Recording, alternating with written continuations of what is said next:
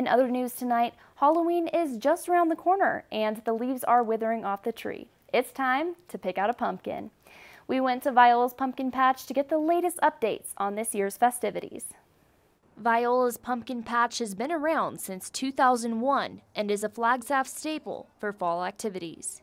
Operational manager of the patch, Janet Taylor, says people drive from all over Arizona to experience Viola's spooky season. People come up from Phoenix who don't have fall and they see the trees changing and dropping their leaves and they don't have any of that. So they feel like they've experienced something they can't experience in Phoenix. From the outside, you would never guess how much work it is to maintain a pumpkin patch in a high elevation area such as Flagstaff.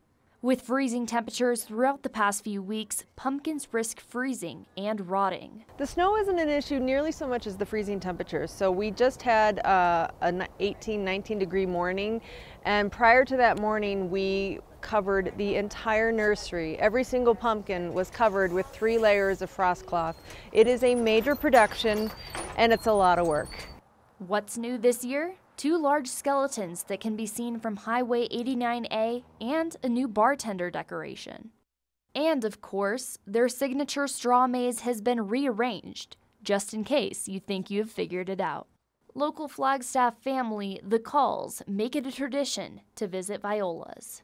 Oh, it's just fun to come out here and pick pumpkins and watch them grow every year, um, especially, you know, the younger ones, just being able to actually understand what fall is and carving a pumpkin and having the excitement of picking it out as a family. I mean, they can spend as much time as they want here. It can be a half hour, it can be two hours. Sometimes they'll be like, oh, you're still here? But on a Saturday, it's, it's like Disneyland around here. The pumpkin patch is open seven days a week, 10 a.m. to 6 p.m., and admission is $4.